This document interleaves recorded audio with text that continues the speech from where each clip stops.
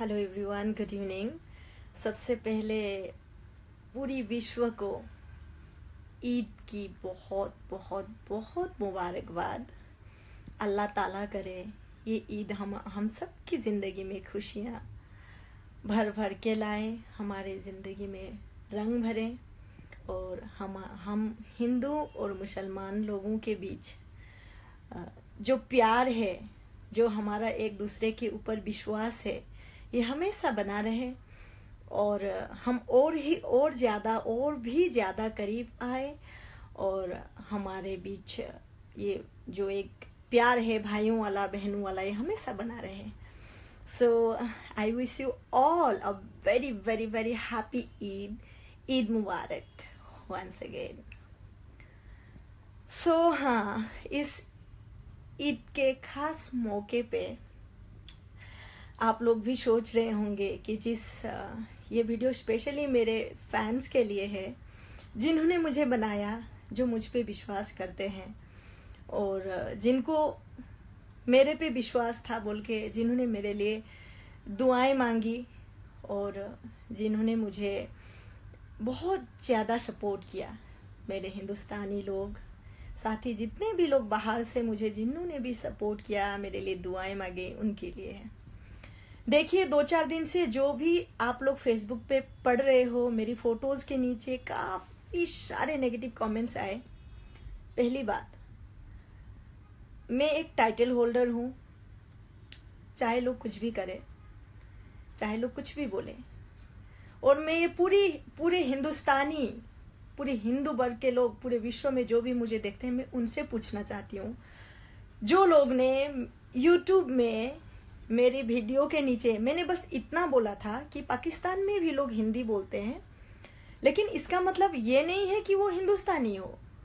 और हमारे यहाँ भी लोग उर्दू बोलते हैं। इनफैक्ट मैं खुद उर्दू की क्लासेस ले रही हूँ।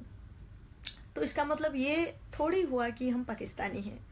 तो इस चीज़ को कंट्रोवर्सी बनाकर नेपाल के कुछ लोगों ने, सबने नहीं बोलूँगी उन लोगों ने इस चीज़ को कंट्रोवर्सी बनाकर यूट्यूब में मेरे वीडियो के नीचे बहुत सारे गंदे कमेंट्स लिखे, मेरे देश को गाली दी, तब जाकर मुझे बहुत गुस्सा आया। क्योंकि खून तो भारतीय ही है, देखिए। और कोई भी हमारे देश को, हमारी मातृभूमि को गालियाँ बकता है तो हमें बर्दाश्त नहीं होता है। कुछ भी जात हो कोई आसामी हो, कोई बंगाल से हो, कोई अरुणाचल से हो, चाहे कोई राजस्थान से हो, चाहे कोई हरियाणा से हो या बिहार से, हम सब भारतीय हैं, पहली बात। और हमें दर्द होता है जब भी हम अपने देश के लिए बुरा सुनते हैं। तब मैंने उस चीज़ के प्रत्युत्तर में मैंने लिखा था। उन, पहली बात, आप लोग ने मेरे फ़ोटोज़ के नीचे देखा होगा, धोती धोती धोती लिखते हैं लोग।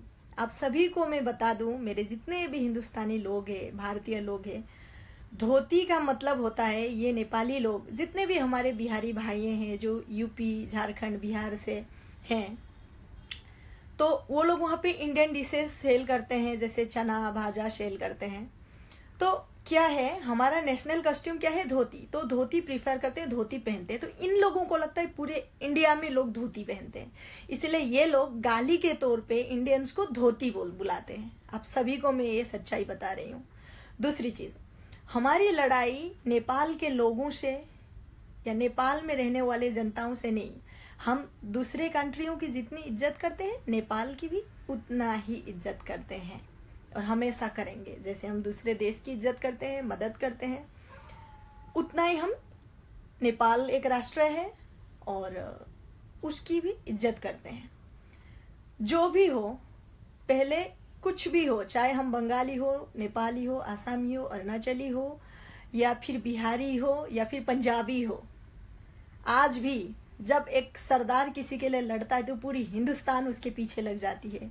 आज भी एक इंडिया में किसी को कुछ होता है तो चाहे वो हिंदू हो या मुसलमान हो, हम सारे हिंदुस्तानी एक साथ मिलकर एक होकर लड़ते हैं।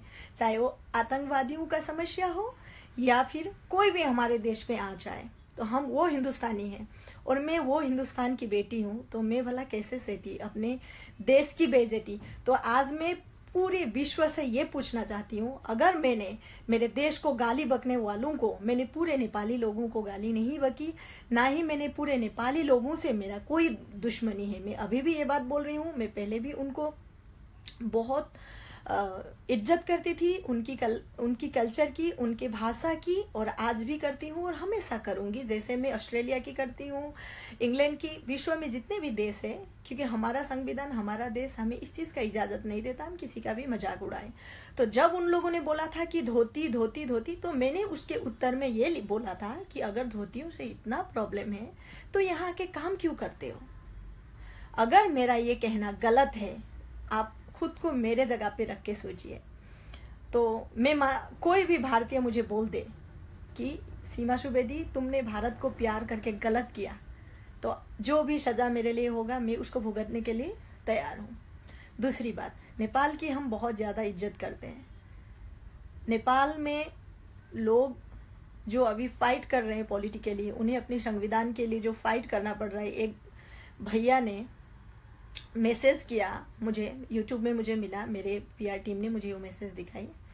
मैं उनको बताना चाहूँगी भैया बहना बहुत सारे लोगों ने यूट्यूब में वीडियो डाला हालाँकि मेरे पास इतना समय भी नहीं है कि मैं आप लोगों का वीडियो देख पाऊँ। हाँ लेकिन मैं एक चीज़ आपको बताना चाहती हूँ कि आप लोग जो इतना बोल रहे हो कि आ, कैसे बोल दिया शीमा ने कौशरी भनियो एंड ऑल एक्सेट्रा एक्सेट्रा इतना बोल रहे हो, एक लड़की की फ़ोटो के नीचे तुझे रेप करूँगा, तुझे मार डालूँगा बोल के आपके यहाँ से लोग कमेंट कर रहे हैं। अभी आप लोग कहाँ हो? अगर आपके जगह कोई हिंदुस्तानी होता ना, और मेरे हिंदुस्तान से पहली बात मेरे भारत से, हमारे भारत माता के संतान ऐसा कुछ करता नहीं है। और आज देखा आप लोगों ने, मुझे गर्व है मेरे भारतीय लोगों पे कि उन्होंने एक भी एक भी गंदा कमेंट नहीं किया आप लोगों को। हालाँकि बोलना हमें भी आता है। मुँह हमारा भी है। हाँ। लेकिन हम लोगों ने कोई भी गंदा कमेंट्स मेरी तरफ़ से नहीं किया गया। क्यों? क्योंकि हमारा देश ने हमें वो संस्कार नहीं दिया है। और किस धोती की बात करते हैं? हमें घमंड है धोती पहनने पर। हमें घमंड है भारतीय होने पर। हमारे मोहनदास करमचंद गांधी, महात्मा गांधी जी ने भी धोती पहना था। हमारा नेशनल कस्ट्यूम है हमें गर्व है। तो भाइयों और बहनों नेपाली भाइयों और बहनों, मेरे प्यारे भाइयों और बहनों, आप लोगों को मैं पूछना चाहती हूँ, जितने भी पूरे विश्व में नेपाली भाषी लोग हैं, मैं आप सभी को ड्यू टू रेस्पेक्ट पूछना चाहती हूँ, क्या एक लड़की की फ़ोटो के नीचे डर्टी पिक्चर में उसका फेस को एडिट करके लगाना, उसके बाप के बारे में गंदा गाली बकना, उसकी माँ के बारे में गंदा गाली बकना, ये कहाँ का न्याय है? अगर ये भारत में होता ना तो अब तक ये सारे बंदे जेल में होते। ये है हमारा भारत का कानून। बोलने मिला, मेरा संविधान मुझे इजाज़त देता है कि मैं अपना पक्ष रखूँ और मैंने दार्जिलिंग के मैटर में अपना पक्ष रखा। जो मुझे लगा, जो सही लगा, बींग गोरखा, मुझे लगा ये मेरा ज़िम्मेदारी है, मेरी मातृभाषा के लिए बोलना मेरा ज़िम्मेदारी है। लेकिन इसका मतलब ये नहीं है कि मैं अपने भारत से प्यार नहीं करती या मैं अपने भारत के लिए कुछ भी सुनूँगी। तो इसीलिए आपके घर में भी माँ बहन होंगे। अभी एक लड़की के ऊपर इतने गंदे कमेंट करने से पहले तुम अपने माँ और बहन को एक बार ज़रूर देखना। और मैं अभी भी मेरे भाइयों, मेरे फॉलोअर्स को रिक्वेस्ट करूँगी, वो चाहे कितना भी गिरे, आप लोग अपनी तरफ़ से प्लीज़ कुछ भी गंदा कमेंट मत करिएगा। क्योंकि हम भारतीयों की यही एक पहचान है कि हम किसी को गंदा या गलत नहीं बोलते। और हमें दुख है, हमें दर्द है, नेपाल में जो भी हो रहा है संविधान को लेकर, या आप लोग भी फाइट वो भैया मुझे याद नहीं है उनका नाम स्पेशली मैंने उनको थैंक यू कहा है।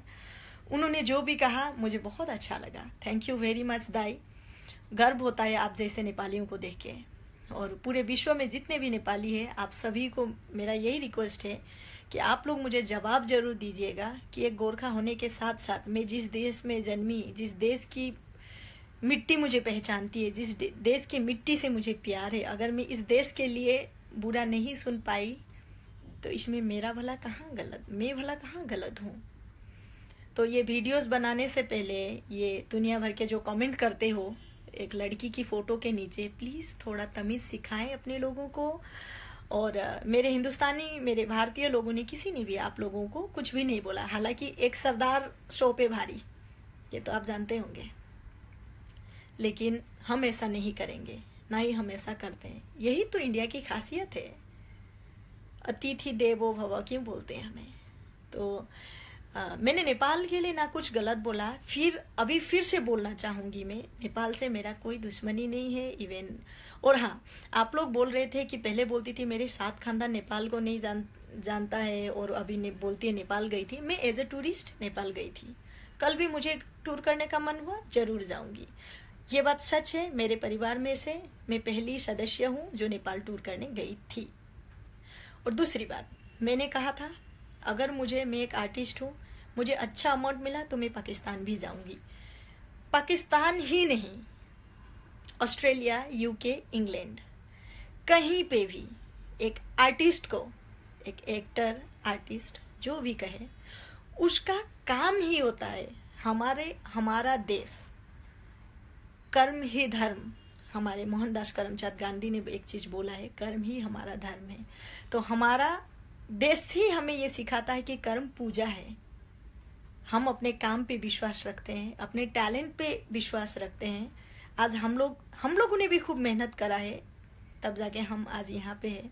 तो केवल पाकिस्तान ही नहीं, अगर कोई भी कंट्री हमें एफोर्ड कर पाया और उन्हें हमारा टैलेंट अच्छा लगा और वहाँ से हमें कुछ भी अच्छा ऑफ़र आया तो हम जाना ज़रूर पसंद करेंगे।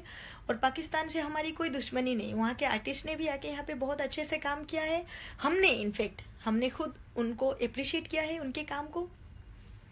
और अगर हमें भी मौका मिलेगा तो हम भी ज़रूर जाएँगे। आर्टिस्ट का कोई धर्म नहीं होता।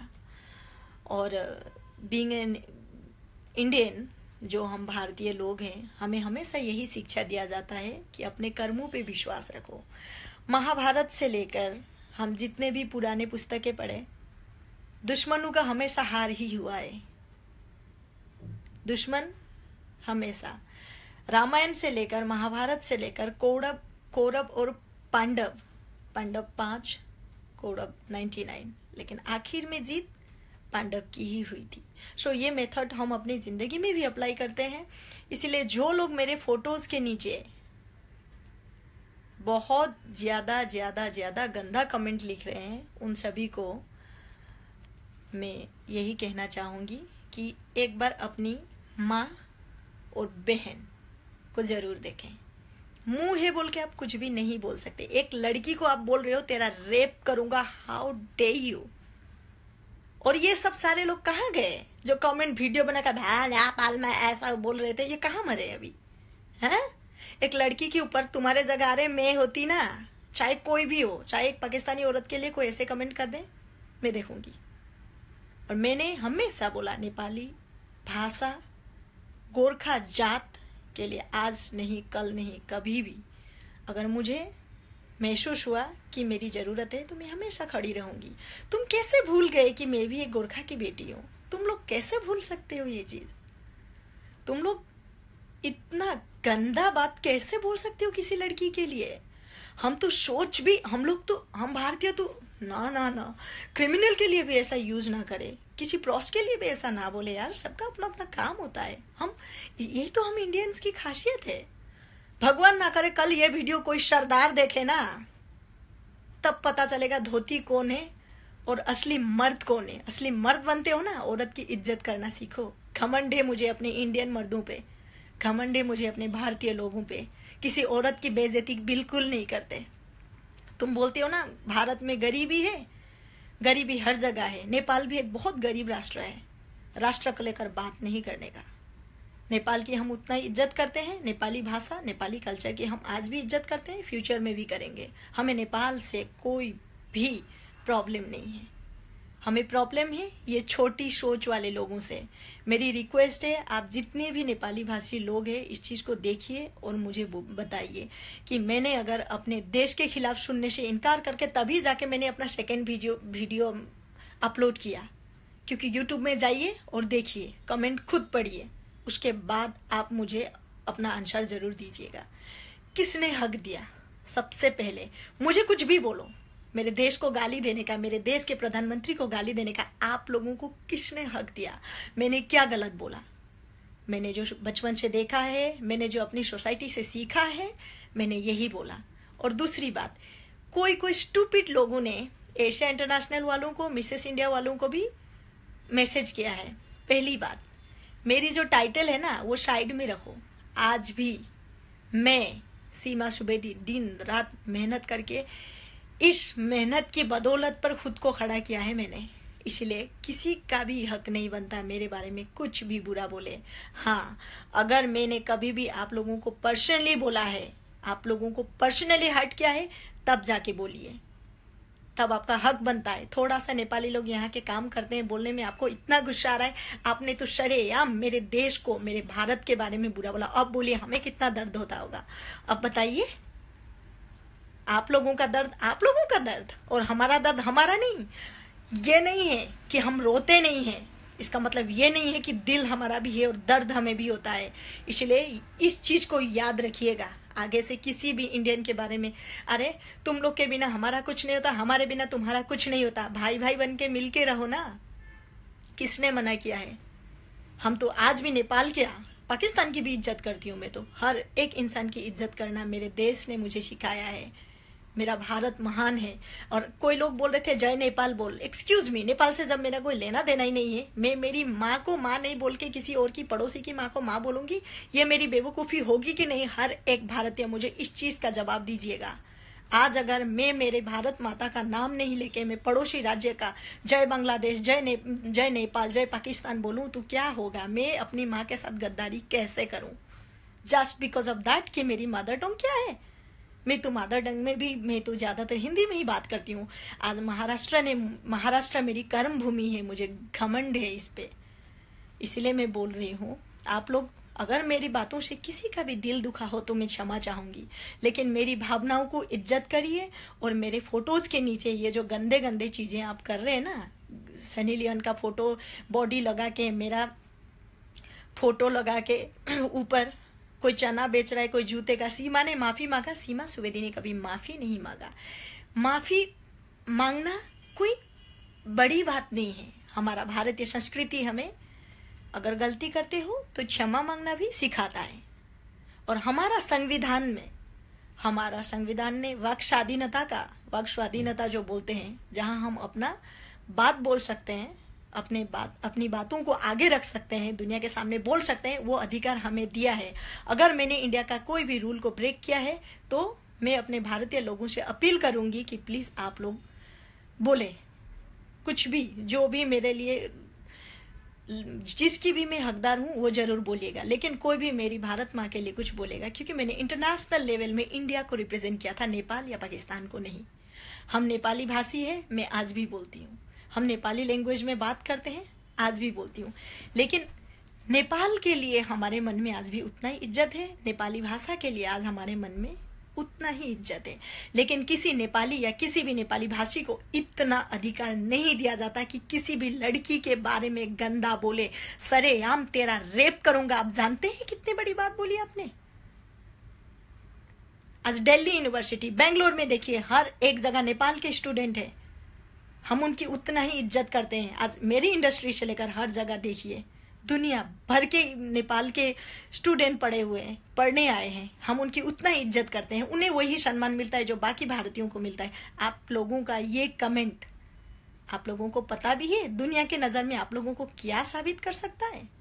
पूरी दुनिया जानती है, मेरे भारतवासी जानते हैं, सीमा सुवेदी कैसी और अपने देश से कितना प्यार करती है। लेकिन आप लोगों को कोई हक नहीं बनता। आई एम सॉरी किसी को रंडी या किसी के लिए गंदा कमेंट करने का। आगे से ध्यान रखिएगा। आप नेपाली भाषी है, गोरखा है। एक रियल गोरखा लोगों की इज़्ज़त करता है। एक रियल गोरखा प्रोस्टिट्यूट की भी इज़्ज़त बचाता है। गोरखा इज़्ज़त नहीं लूटता। ये असली गोरखा का पहचान होता है। इसीलिए तो ब्रिटिश उनको सबसे ट्रस्ट करते हैं। इंडियन आर्मी में उनको जगह क्यों मिलता है? ब्रिटिश आर्मी में उनको जगह क्यों मिलता है? क्योंकि वो सबसे विश्वासी इंसान होते हैं, जिन पे हम विश्वास कर सकते हैं, जिनको हम अपना सबसे करीबी बना सकते हैं, जिनको हम सबसे ज़्यादा अब जिस, जिनके पास हम सबसे ज़्यादा सुरक्षित महसूस कर, करते हैं। सीमा सुबेदी क्या? हज़ार सीमा सुबेदी पैदा होंगी इस भारत भूमि में। जो भी हो, सबसे पहले मैं एक भारतीय हूँ नॉट ओनली मी पूरे भारत में रहने वाले जितने भी जात के लोग हैं और भारत एक धर्मनिरपेक्ष राष्ट्र है। मैंने आज ईद मुबारक बोला मेरे मुसलमान भाइयों को तो आपने उसके नीचे भी बोला, मुसलमानों को गाली दिया। आप लोगों का हिम्मत कैसे हुआ मेरे मुसलमान भाइयों को गाली देने की? इतना अधिकार आप लोगों को किसने दिया? मेरे मुसलमान भाइयों ने आपका कुछ नहीं बिगाड़ा है। जरा संभल के बात करिएगा। नेपाल में भी बड़े बड़े व्यापारी इंडिया से हैं। इंडिया में भी लोग छोटे बड़े हर काम करते हैं। लेकिन इसका मतलब ये थोड़ी है, धोती धोती धोती, इतना धोती से प्रॉब्लम है। ठीक है, एक भाई ने बोला, इसीलिए मैंने ये वीडियो बनाया। एक भैया ने बोला कि, सीमा सुबेदी, ये चीज़ है। उन्होंने रोया भी और मुझे ये चीज़ बहुत दर्द हुआ मुझे देख के कि कितना इज़्ज़त करते हैं अपने देश को, कितना प्यार करते हैं। उनका भी मुँह था, वो भी मेरे लिए गंदा बोल सकते थे, पर उन्होंने कुछ भी नहीं बोला। Hats off to you buddy आप सही में एक अच्छे इंसान हो, मुझे गर्व होता है आप जैसे गोरखा पर। आप सही में डिजर्व करते हो गोरखा कहलाने के लिए। इसीलिए अगली बार अगली बार किसी भी लड़की की फ़ोटो के नीचे गंदा कमेंट करने से पहले सौ बार सोचिएगा। खुखरी चलानी हमें भी आती है। और अगर फिर से ऐसी कमेंट्स आई या ऐसा हरकत किया गया तो मुझे लीगली एक्शन लेना पड़ेगा। Thank you very much wish you all a very very happy Eid once again और आप सब सही रहें, खुश रहें, दूसरों को भी खुशी से रहने दें। अपने आसपास की जगह को साफ़ सुथरा रखें और हमेशा अच्छा सोचें, सच्चाई का साथ दें। जय हिंद।